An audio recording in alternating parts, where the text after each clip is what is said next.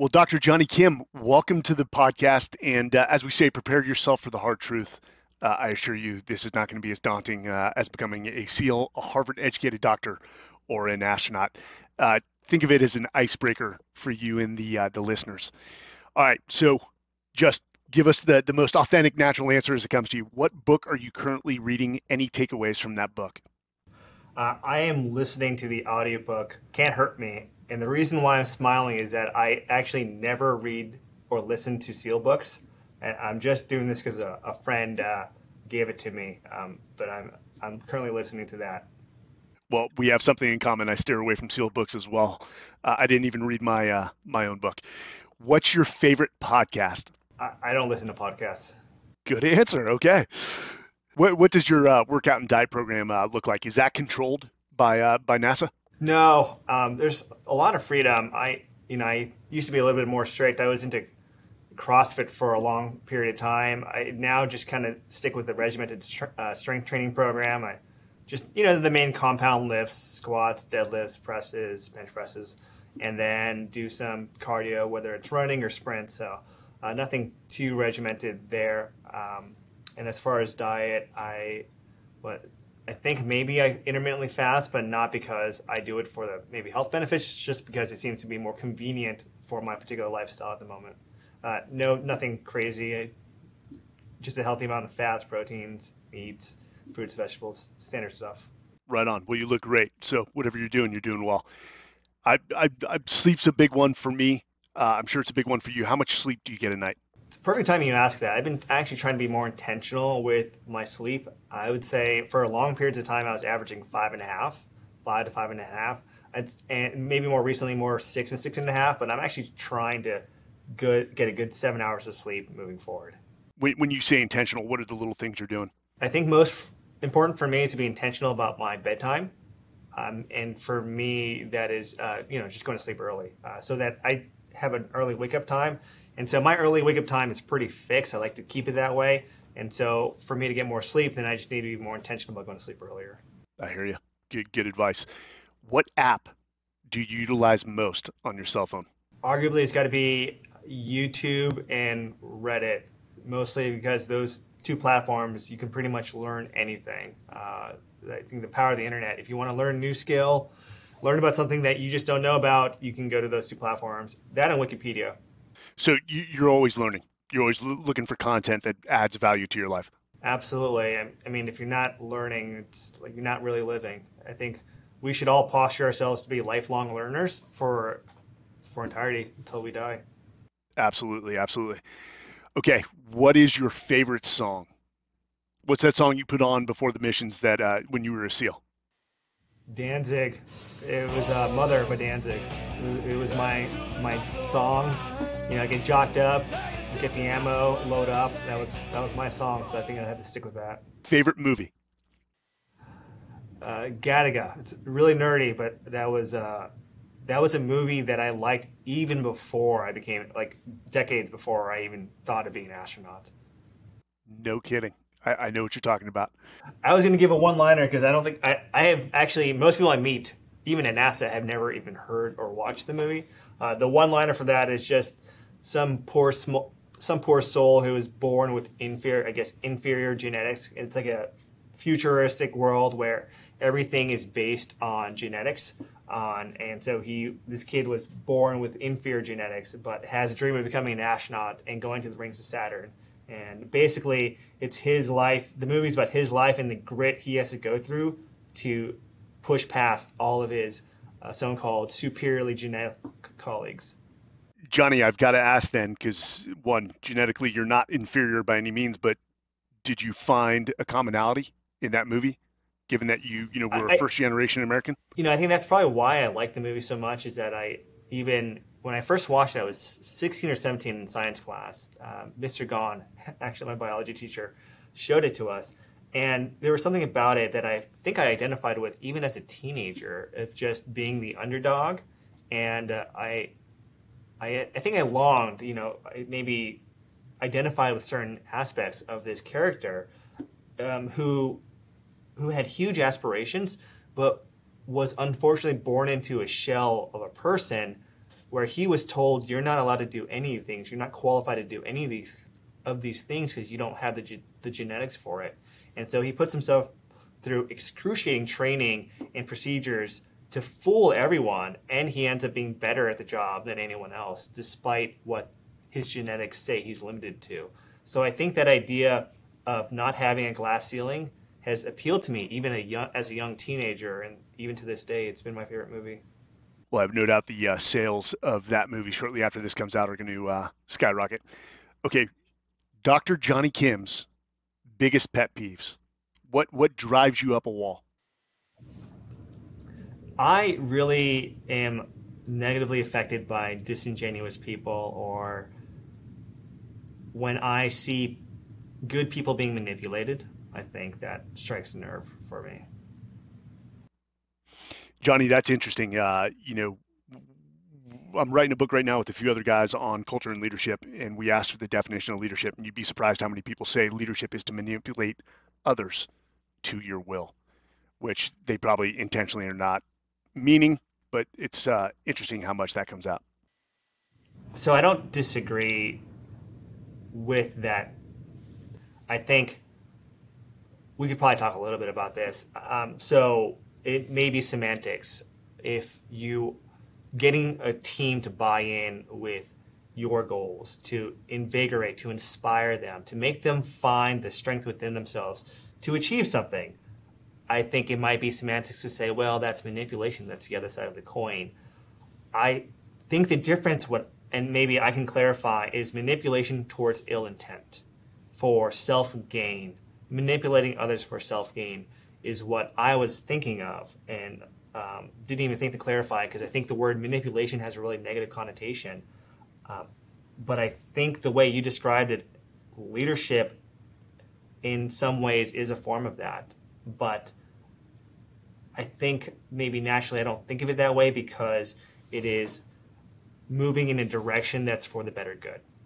I love how you define that. Yes, manipulation for self purpose uh, or for self uh, desires, but uh, you know I usually like to default to the word inspire, to inspire others to action, to inspire others to uh, to buy in.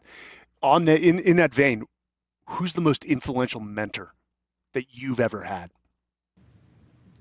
No, I, I've had a lot of flawed mentors, um, but the key word is influential, and, and someone that I, for me, means someone that I've learned a lot from. And uh, so, you know, I would be remiss if I didn't say it was um, some of the commanders I had in the SEAL teams. And the one that comes to the top of my head, of course, is Jocko. Amazing. And who would be the best leader you ever worked for? Could be the same answer it's not the same answer for me because um, every leader I've worked for has had flaws, every one of them. And uh, I worked for you, like, and you have been extremely influential, and I've learned so much from you. Um, but I think you'll be the first to agree with me that you are a flawed leader. I'm certainly a flawed person and a leader. Every single person I've worked for and have learned from has been flawed. And I've learned so much from each of them so I don't have a best leader that I've worked for. Beautiful answer, and, and so true. What is your top bucket list item? And funny enough, the way this is phrased, this next part, it's the thing you must do before you leave this earth. And I'm not talking on a rocket ship. I'm talking leave the earth as in the bib- biblical sense. I think just the way my brain is wired, I don't think I have never made a bucket list. And uh, thinking about it, I don't have a bucket list. I am happy. I, I, think maybe I don't have one because I think the idea of a bucket list suggests you're putting something off that's really, really important for you. But I feel like if there's something that important for you, why aren't you grabbing it right now? And so for me, what I think about before I die is that I have had, I have moved the needle towards progress and have impacted as much as I've wanted to impact the lives of other people and the world in a positive way. And if I feel I haven't done all I can for that, then I will be dissatisfied before I leave this earth. That's what I think about. But I don't think I have a bucket list in the natural way people think about it. It's like, you know, I got to visit all, you know, climb all the major mountains and, and things like I don't think I have something like that. Jonny, that is an amazing answer. And uh, I think it's a reflection that you live in the now and you don't wait to seize uh, what uh, what brings you happiness or what you know will impact others around you. Here's the uh, the final question, Jonny. If you could go back and talk to your 20 year old self for one minute, what would you tell yourself? Uh, you know, that's not a lot of time, so I would I would say that confidence and humility are some of the most important traits to maximize your ability to learn from other people. And that includes successes and mistakes that other people make. And also telling that 20 year old Jonny, because that 20 year old Jonny had a very narrow definition of what leadership was and what strength was. And it was mostly what was um, glorified and applauded in the SEAL teams. And that is a very good set of skills in leadership in that context. I would tell that 20 year old self that true leadership and uh, has an expanded tool set that is much wider than that 20 year old Jonny may think, uh, which at the time was mostly, um, I think, physical strength and mental strength and, lead, and leading in a combat type of context. It's uh, sometimes it just takes time, and uh, you've you know part of that process is failure is the the foundation of all success. So I love that answer. And, and actually, Jonny, you hit on it. You talked about confidence, and you are officially off the hot seat. That's the uh, the hard truth. I think the listeners have a better idea of who uh, Dr. Jonny Kim is, besides the articles, the countless articles that come out on you. I want to move to uh, to confidence, which actually I'm going to approach from the direction of self doubt. Now, I read something in the Harvard uh, Gazette, and it was a great, great interview with you. And I think that you said you shared that you have self doubt in your younger years. And I think this is something that all high performers possess to some degree, even those that have accomplished so much uh, as yourself. But in high school, you said you did not see in yourself the qualities you admired in others. The courage of the astronauts whose posters were on your wall, the quiet professionalism and the awe defying determination of the special forces. Would you say that you had a healthy dose dose of uh, of self doubt in your younger years? No, I think I had an unhealthy dose of self doubt. I think, well, I think it served me well. I think it served me from ever becoming arrogant and feeling like I was always on thin ice of becoming unworthy to being among my teammates. So when I you know, as an adolescent, I was I really had no confidence. I was scared of social situations. I was scared to talk to people. I was scared of confrontation, any kind of confrontation. I would always react and and take actions to avoid confrontations, even if it was at the cost of myself, um, either from a social situation or if I had to do extra work. Um, I mean, like little things, like hey, maybe you're on a school project in high school, and and one person is not. Maybe you're doing most of the majority of the work, but you're unwilling to speak up because you just want to avoid confrontation, so you're, just willing to do it. That that was the kind of kid I was, and I wanted to be a SEAL more than anything. And for me and BUD/S, I cared so much about what my teammates and my boat crew thought more than the instructors because I wanted to belong, and I wanted to be worthy to be in their presence because I felt that I was honored. I was the I was the lucky one to be even given a chance to be in their presence. And passing BUD/S, I mean, there were these incremental stages of gaining more confidence and realizing, hey, maybe the person that I thought I was, this weak, scared individual, is not as weak as timid as I thought I was. And but always having that sense of self doubt, even in the SEAL teams, where I felt that I had to perform to earn my keep in the platoon. And I felt maybe that I had to perform even more than others to keep, because I wasn't the strongest guy. I'm not the biggest guy. You know, when you think of a Navy SEAL, you certainly probably don't think of someone of my stature. But a lot of those things played into my confidence, and that kind of kept me on edge of always feeling like I had to perform. And so I think it served me well but I don't think it was what I would say healthy level of confidence. I think I had probably an un- unhealthy level. And that followed me even outside the teams into other occupations when I was going to school, grad school, medical school. But I think it eventually became maybe more of a healthy level of, of, of self doubt. Um, but I would say that now I've evolved it to be a rather healthy level of doubt. I don't even know if doubt is the right word for it. I think maybe um, healthy level of confidence in knowing that I'm fallible and I'm going to make mistakes. But if I own them, if I'm accountable, I'm going in the right direction. And so I think I have more grace for myself. Beautiful. So, having gone through SEAL training with you and having watched you go to Iraq two times in the Battle of Ramadi in 2006 and again the Battle of Sadr City in 2008, did going to war help erode at that sense of, uh, of self doubt? Or, as you say, did it help regulate it? It certainly, I think it helped. Um, uh, that's a really good question. I don't think I've ever thought of it like that. What helped was certainly in 2006 in the combat. I mean, we had contact, we, we engaged almost every single mission we went out on. And realizing, you know, you don't really, when you're in a bubble, and when I say in a bubble is because everyone in that platoon in the task unit were we were all very aggressive warriors. We we seeked the challenge. We were good. We were high performers. I think you kind of assume everything is like that and everyone is like that. So the experiences we had didn't weren't realized at the time that oh these were maybe outside the norm experiences for what a regular deployment is or uh, what a regular level of combat is or stress is and you're going through and you're doing the best you can and maybe at some point realizing hey most people don't have these types of experiences and we're extremely resilient people.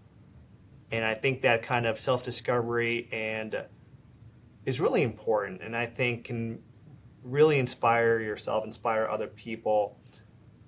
Uh, I mean that that those combat tours were certainly roads of self-discovery about my weaknesses my what I'm fallible to, but also that humans are extremely resilient individuals when faced with a challenge.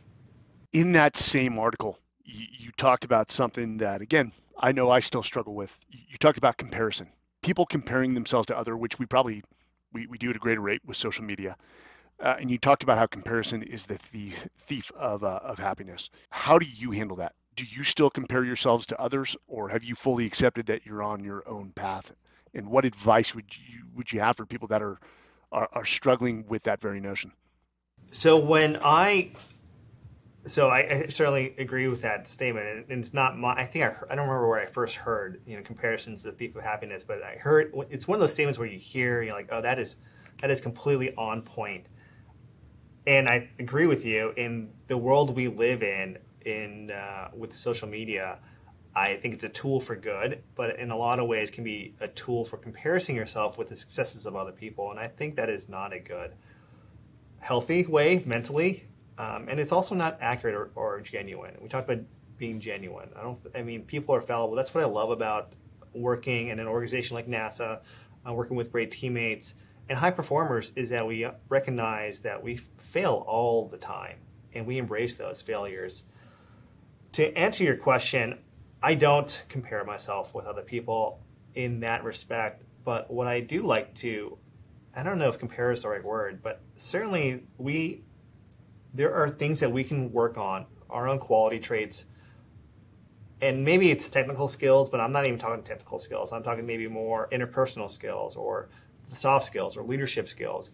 But there are other people who have, who are better at certain things than we are and so learning from them, watching them, understanding them, learning, uh, and talking to them, I think that is in a way comparing yourself to other people. And I find myself to do that frequently in uh, in a lot of things, and, uh, and that's what we talked about. Having had leaders and mentors previously that I've all been flawed, but they've all had great strengths in certain things, and being able to compare yourself and how you might be able to incorporate that into your own being so that you can make the best version, the best genuine version of yourself. And I find my I find myself doing that a lot. Um, but it's not comparing, oh, this person has this or this person is in position of this. I wish I had that. I think that is kind of um, that can be unsustainable and unhappy. I, I, think I call that modeling. There's there's a lot of people such as yourself that that I, I admire, and again, I, I, look at your strengths and I try to model myself or emulate uh, you know your strengths in order to to increase whatever attributes or soft skills that I'm trying to uh, to improve. But I, I completely agree with you. Um, from a standpoint, and I know you've talked about this in the past, is that you want your kids to understand they're on their own path. Because I know if I was the uh, the son of Dr. Jonny Kim, I would have some some very high hurdles to meet uh, to, to to emulate what he did in life. What do you say to your kids uh, in terms of following their own path and seeking happiness, whatever that means to them? I, you know, and I say frequently to my ten-year-old, you know, I intentionally um, actually never told my children what I what I did for a while. Um, uh, my son, my oldest son, uh, eventually found out I was a SEAL, um, and I think my heart was in the right place and why I didn't want him to know um, because I didn't want to have any any aspect of that life glorified. But I think in doing so, I maybe just made it worse or had the actually counter effect. And the reason being is I saw a book he had checked out as a third grader, and it was about Navy SEALs. It was like a third grade book level about Navy SEALs, and it was endearing to me, um, but at the same time, not at all what I wanted. And because it's important for me that we all make our own mark in this world, and we all make that mark in the way we want to. And there's no tried and true path on how to do that. And I think I might be affected because my own father was very strict on what he thought success meant. He had a very clear definition of it, and it was not consistent with what I wanted. And that led to a lot of internal conflict, eh, internal and external conflict. And I didn't want that same burden to be on my own children because I don't think that everyone, anyone should ever have to live in anyone's shadow. And the very fact that we have to entertain that we're somehow measured against our parents or measured against other people is just a not it's not a right way of thinking. And uh, so, what I tell my children is that my only request is that they are passionate and put their all into whatever they want to do. But I have, I care not what it is. If it's military, if they want to go into business, be an artist, I don't care. Jonny, you you've talked about how the SEALs have been an integral uh, part of your life. Do you consider your time in the Navy SEALs some of your most, let's call it, formative years uh, in your adult life? Absolutely. It is easily the most formative years of my life by, by an order of magnitude. I probably go into, I mean, why I think.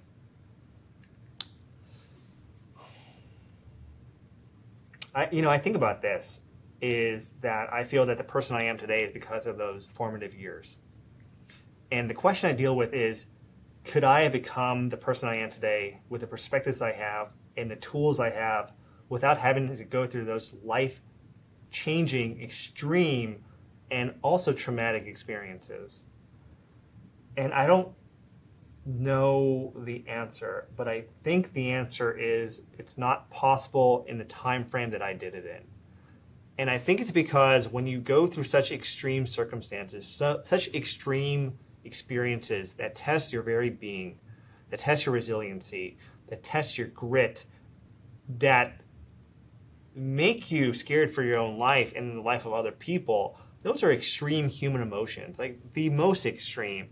And it's like it compresses all of life's lessons into, like, time compresses them in a way that's digestible for you to live the rest of your life. And so, to answer your question, absolutely, those are the most formative years of my life. I think they'll be, I think they will serve me for the rest of my life as the most formative lessons I will ever have learned about humanity, about leadership, about sacrifice. And I can't think of another way to have learned those same lessons especially in that time frame. Now, are you speaking holistically of your entire time in the, in the SEAL teams, or what was more impactful, the, the actual SEAL training or your time at war?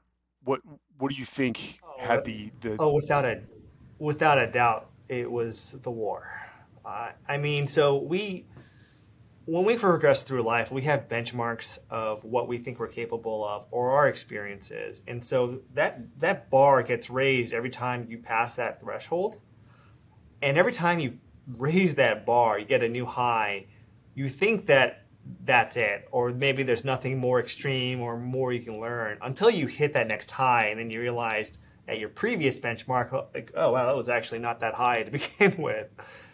And I would say probably in Hell Week, right? So, you know, going through Hell Week, you're tested. I mean, you're up five and a half days. It sucks. It's really a lot of suffering.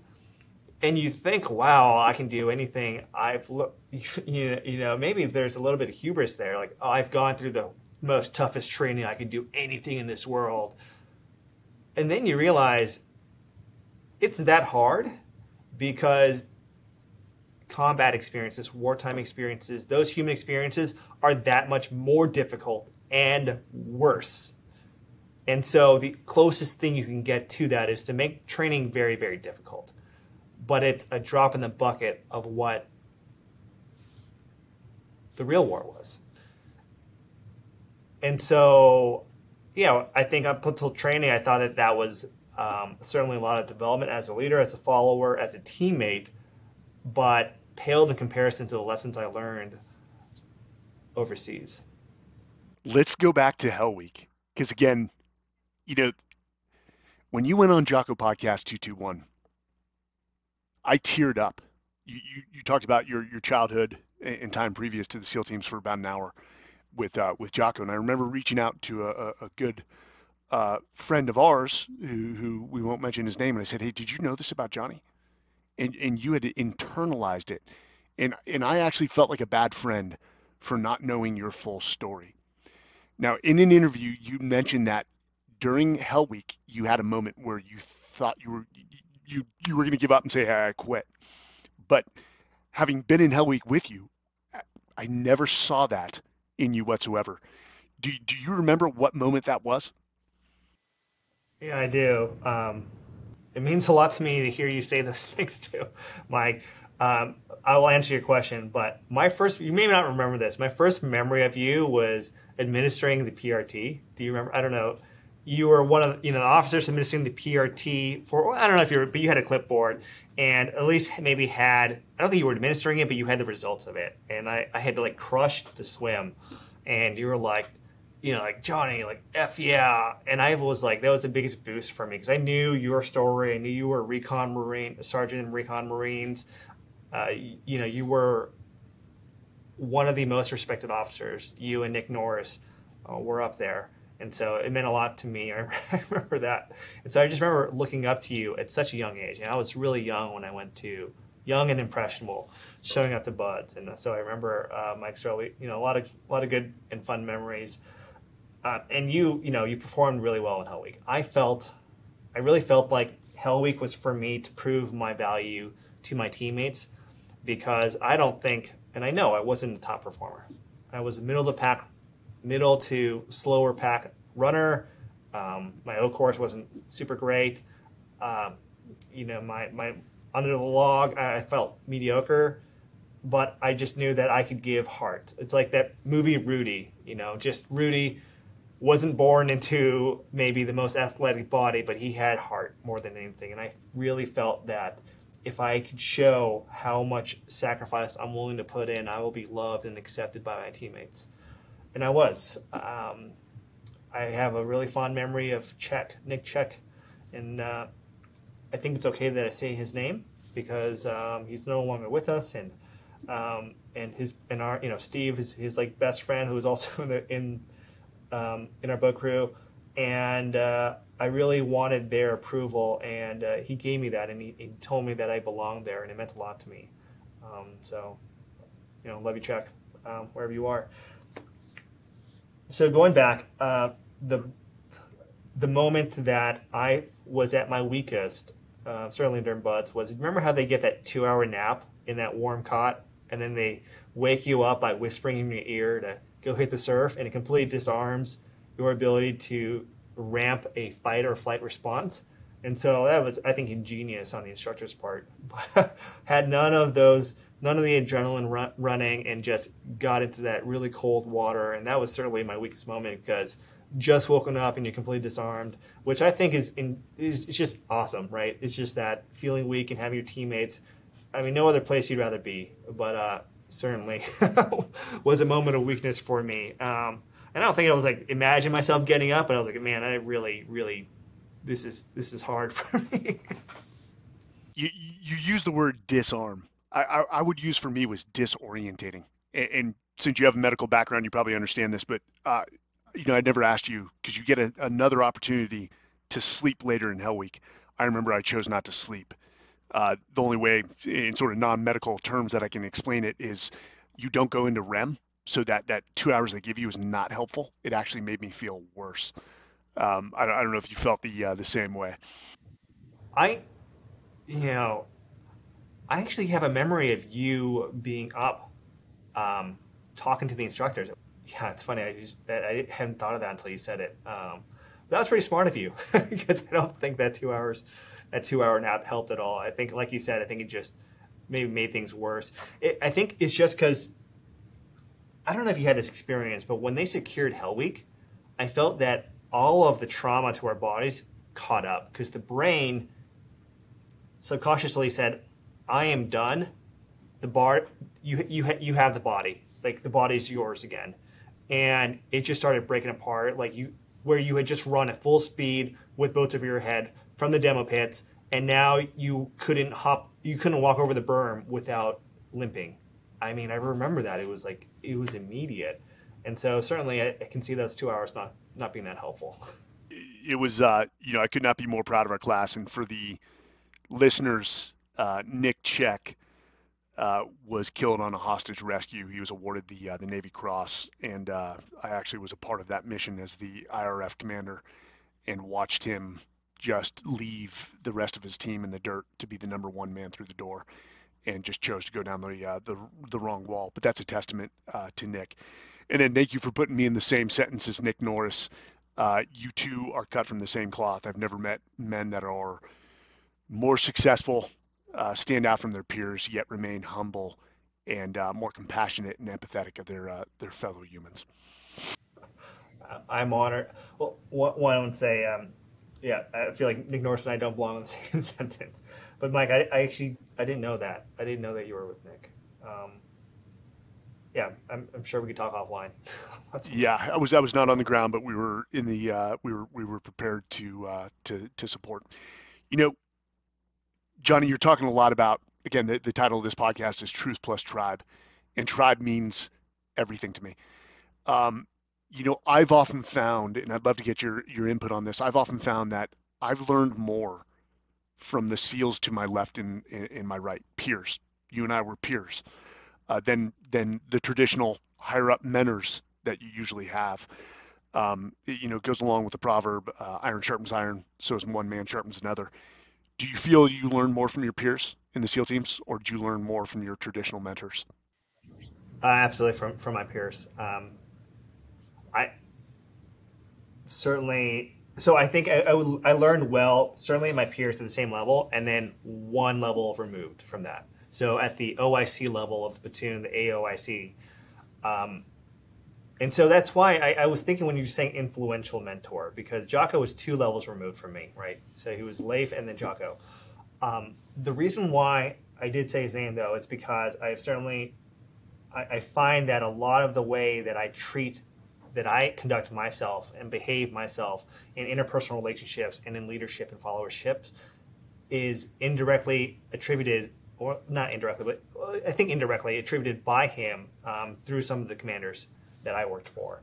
And so um, I see elements of that. But again, I think we make the best versions of ourselves when we incorporate, when we take in those best elements of our leaders and the people we work with into our own being to make that us, to make that you, because you got to do you at the end. Um, but yeah, to answer your question, I've learned so much more from my own peers and their own struggles and failures, um, really, um, in just in just in life in general. Now, have you found that same peer-to-peer mentorship at NASA to to, to the same degree more? Uh, what, what does that look like within those walls? I think it is similar. Certainly, when we were a class, so when we first showed up, we had two years of initial astronaut training. And like a class that's going through a military training, we did a lot of things together. I think learning from each other was really, really important. Um, there is also some top-down um, learning from there, but it's not. It wasn't as apparent when I first showed up. And when I eventually get assigned, I think I will be back in that kind of relationship. But NASA is interesting. It's probably really similar to the structure of a special operations team. There's a lot of peer led leadership here. And I think in a lot of ways that is a lot more difficult than your typical chain of command type of spelled out leadership. And the reason why peer leadership is so important and I think more difficult is because you need to be able to read the room, so to speak, be able to have that emotional social intelligence to flex on when to act as a leader and when to act as a peer and to, to scale those skills back. Um, that I think is pretty tricky. And but the people I work with here at NASA, not just astronauts, people on the ground that are flight controllers, do that immensely well. You, Jonny, you bring that up. It's pretty interesting. Two individuals that have been influential uh, on my development as a leader, uh, and I'm writing a book with them. Brian Decker, former uh, Special Forces officer, who's now the director of player development for the Indianapolis Colts, and then Rich Diviney, a former SEAL commander, author of the uh, the attributes. Um, they both observe that if you walk up on a special operations team, uh, you know the general public thinks that you'd see a Jocko yelling orders, and it's clearly you know he's the leader of the organization. But what they found, uh, bringing psychologists in, is the psychologist couldn't identify who the clear leader was.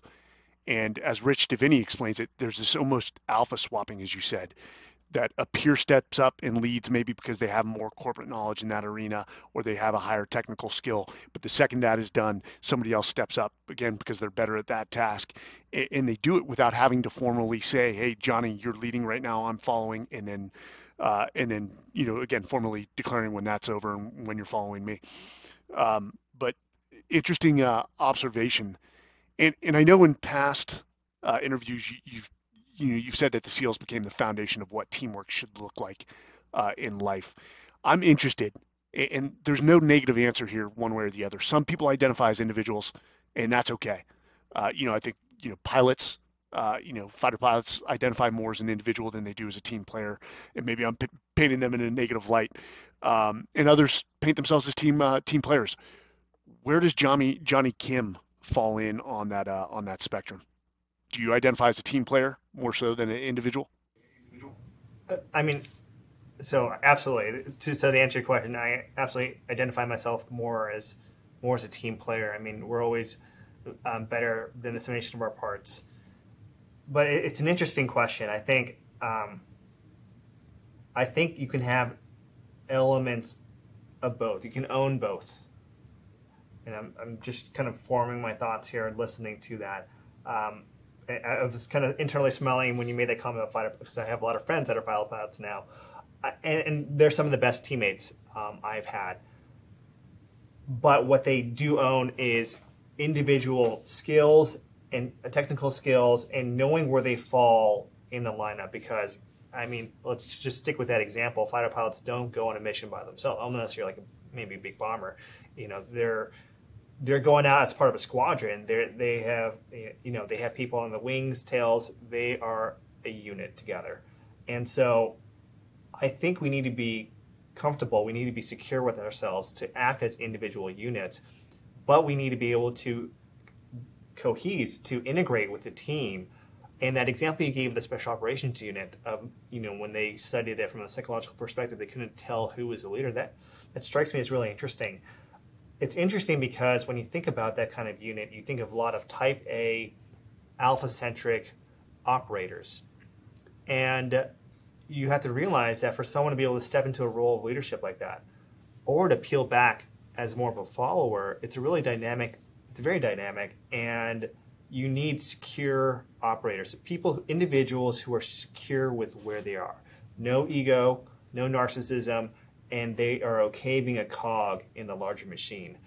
And I think that's good. You need to be. You need to own that you can be a cog. Um, you can be an individual, um, but recognize at the end of the day, for the mission, for the betterment of of the mission, of the team, of humanity, that you are a cog in a greater machine. So the answer is absolutely identify myself as more of a more of a teammate, but I think you could have elements of both. Uh, you've just shaped my perception on that, and that's the beauty of these podcasts. Is as a leader, I'm always evolving, I'm always learning.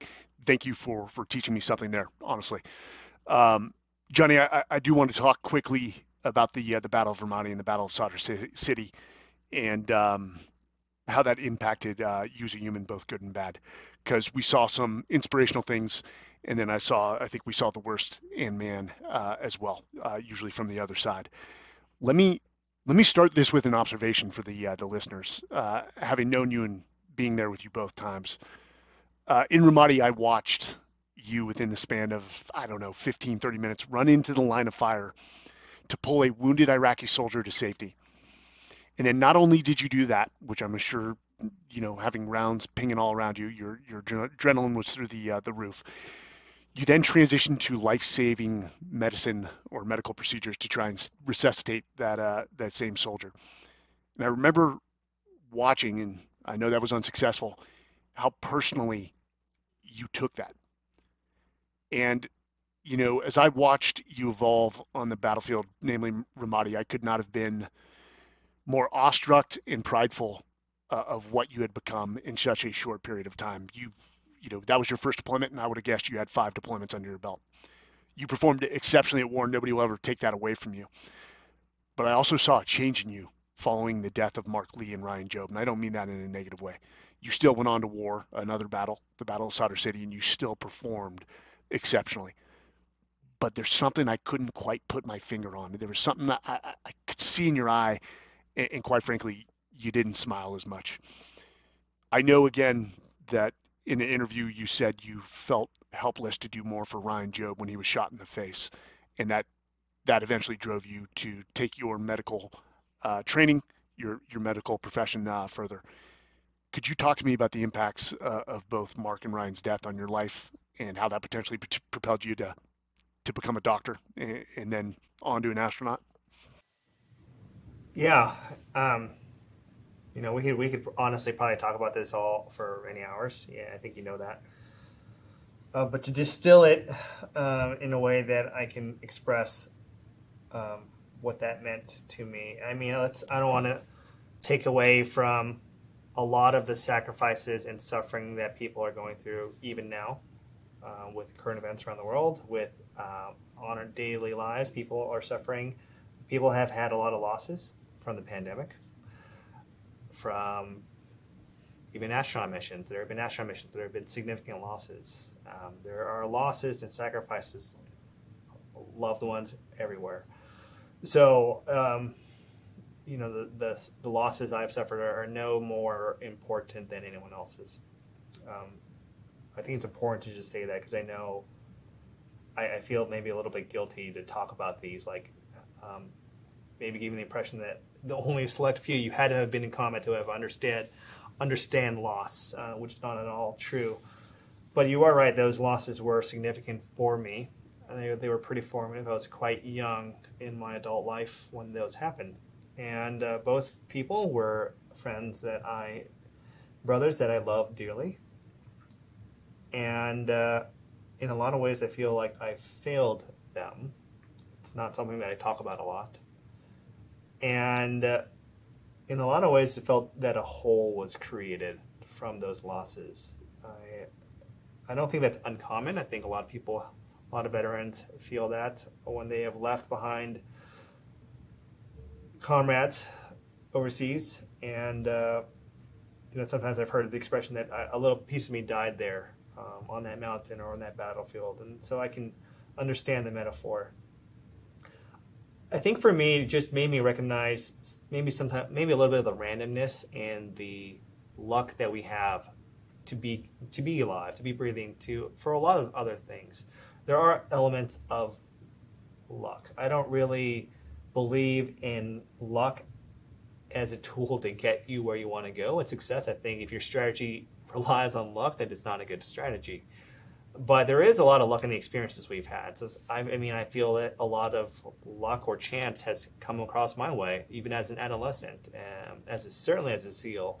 Being, I mean, I've only had two platoons, so there's a you know there's a funny name for those of us who have only two platoons, but that's in the grand scheme of things is quite an experienced SEAL. Uh, but I feel very fortunate that in that short amount of time, I had a compressed experience of of really extreme um, combat and, and, and the lessons that come with that. When Marc and Mike died, and subsequent many, many other of our friends, of our mutual friends, have since died, there is an imperative, or at least for me, a hunger that was always there, but maybe more refined by those losses. And I think for me, that aspiration, that hunger to want to do good. And I think it's an important ingredient that is required for all success, whether it's medicine or politics or business or military leadership, is that level of aspiration and hunger. But it's hard to talk about it because I think that that is a close border, walks the line of ego and narcissism, which are poisons in any community. But if you don't have that hunger, that motivation, that deep seated desire to succeed, it makes it hard to be super successful, to be super impactful in the way you want. And I think you can look in history that there have been a lot of people throughout human history that have had large impacts because they were extremely hungry people. Um, and of course, were motivated, uh, were, were, were talented or had the resources as well. But um, that aspiration piece is a, is an important ingredient. And so when Marc and Mike died, I felt that their losses helped refine some of the hunger that was always there, but maybe in a way where I wanted to do maximal good in the time I have left on this earth. And believe it or not, it wasn't, I didn't know what that looked like. And at the time, it made sense because I was a combat medic and I had a lot of experiences with medicine. But that was an outlet to achieve the umbrella of what I wanted to do was impact and make this world a better place. And so naturally that led to medicine at the time. But it wasn't restricted to medicine. And so when people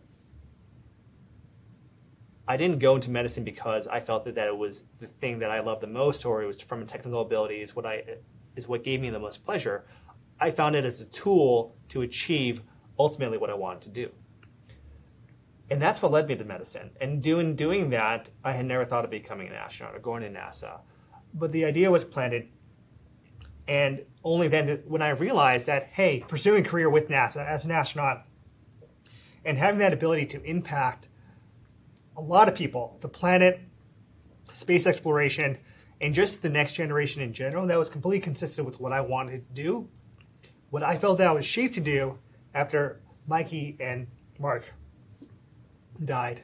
And so that's, I think probably that was a really long answer, but probably the most distilled way I could explain how um, my experiences with those with those two brothers I lost have shaped my life. That is, I, I think, and, and you said it, and you said it beautifully, is that your loss is no greater than anyone else's, even if they lost a parent uh, in a hospital bed due due to cancer. But I think everyone struggles to to to try to find meaning in their loss. But I love how you just said it should fuel your hunger, your your inspiration to impact uh, others around you. And I know, again, given current events, uh, we're all looking back, wondering if we we made a difference with our time served over there. But again, as you said, that's a, uh, a much longer conversation for uh, behind closed doors and uh, and another day. Well, Jonny, I know we're we're coming to a uh, a winding halt here, but uh, I, have got two more questions for you because I'm so intrigued by this one. Again, NASA, man, you, you are an astronaut. That's, I mean, millions upon millions of little kids are saying when they grow up, I want to be an astronaut. And you've achieved what so few have. But I'm interested to hear your answer on this one. Do you consider NASA to be your defining moment in life? The short answer is no but I'd like to expound upon that. I, for one, I think that you brag about me is, uh, I think it's humbling, Mike, because I think you know, um, you should know how much I've learned and, and have looked up to you for many many years and still continue to do. I have a problem when we measure ourselves, when we measure the importance of our lives by the careers we've had. I, I have a problem with that for many reasons. Um, because, I, I mean, I'm super passionate about what I do, what I do for NASA. But let's not forget, I am, I am lucky. I am a blessed ambassador for what I get to do. There are thousands of other people who are just as good and just as deserving to do to have the opportunities I have. And it's like that for a lot of other people in the world. And I think recognizing that humbles us. It keeps things in a in a proper and safe perspective. The reason why it's hard for me to answer that question is because it suggests that um, it suggests that we are measured by what we do in our lives, by by by the occupations we have. Where in reality, we should be measured by the impact we have, the, the intensity impacts we have on other people. And I know scale is so easy to focus on, and it's certainly something that I have. I mean, I have focused on. I mean, if you look at it, my transition to medicine to here, in large part, was because I felt that the scale at which I could do good was on a larger basis and have an opportunity I otherwise wouldn't have, a platform I otherwise wouldn't have. In, in addition to space exploration and serving the greater cause of improving our planet. Uh, but, you know, I made a promise to myself, and certainly after Marc and Mikey and others have passed away, that I will spend the rest of my life doing everything I humanly can to do good, to make tomorrow better than today, um, to make the world a better place. I know it's a cliche way, it's a super cliche thing to say, but it is absolutely true. And so I know um, I'd like to spend as long as I can here at NASA, and I plan to as, as professional astronaut and, and push that needle forward for space exploration. Um, but I certainly hope that I am not measured by any job I've ever had now, in the past, or in the future, because I know I'm not done, and I know that the more important thing is the impacts we leave on other people, on our friends, on our family, and that they are then inspired to be a better human being to the next person. That's, I think that's what we should be measured at, measured by, and we just don't do it enough. The uh, a wise man once said that the greatest currency in life is not money, it's impact. And, and Jonny, you at no point in in your life should ever have to question that you've driven impact in the name of Marc, Mikey, and uh, and Ryan, and you continue to do so, and you will continue to do so. And, and that's a great uh, transition to our last question here. This Truth Plus Tribe was sort of formed off the Everyday Warrior concept, which I write about in the Men's Journal. And these are just everyday warriors, such as uh, as myself and yourself, just trying to make the most impact in life. What are the core tenets, or what advice, the core tenets by which you've lived your life, or what advice do you have for that mother of two that's just grinding, whose small victories are getting her children to school, getting to work, and then picking them up? how do people find purpose and how do they find fulfillment and happiness? And I know that is a tough, tough question. It's a it's a tough question. It's a really it's a really good question. Um, I mean, it's like the million dollar question, right? I feel like if if as adolescents we can know the answer to this, then we can spend the next sixty to you know eighty, maybe eighty years of our life working towards that. Um, but almost like the hardest thing of life is figuring out what we want to do or what impact we want to have. I, but I think the important ingredient in achieving that answer, uh, one, I think the only person that can answer that question is you. I don't think anyone can answer that question. Not your parents, not your friends, not society, not what you think society wants from you or your parents want from you, just you. And I think what you need is honesty is just to be honest with yourself on your desires, your fears, your apprehensions, what you want in this life. This life is short, and we don't have any time to flounder or um, not not march towards what we want to do in life. So whether that's I mean, it doesn't really matter if it's pottery, if it if, if it's business, it's medicine, military. It doesn't matter what it is. but you just got to be honest with what yourself and what you want. And I think that's probably the best way to find how you get to a purpose driven life. And uh, I don't think the answer should really ever be clear. I don't think it's clear with me. Um, and I'm, I'm okay with that. As another wise man said, life is a mystery to be lived, not a puzzle to be solved. Jonny, great answer. Well, for all those listening, uh, I, will say this, and I've not said this about any of my other guests. I probably uh, won't, even though they're all exceptional, great people that are close to me, and I love them all. Uh, I love this man for what he stands for, and I'm telling you, you will never meet a more compassionate, empathetic, amazing human being like Jonny Kim. Jonny, you are, and not to get uh, grandiose here, you are an inspiration, a, a, a bar for which we should all live our lives, not in terms of the accomplishments you've had, but how you treat and respect other people. And it's been humbling, humbling to have you on. Jonny, where can people follow you best on uh, on social media? I, I, can't answer that question without saying this first. uh, I don't think I deserve those words, and I, I, I, I love you too, Mike.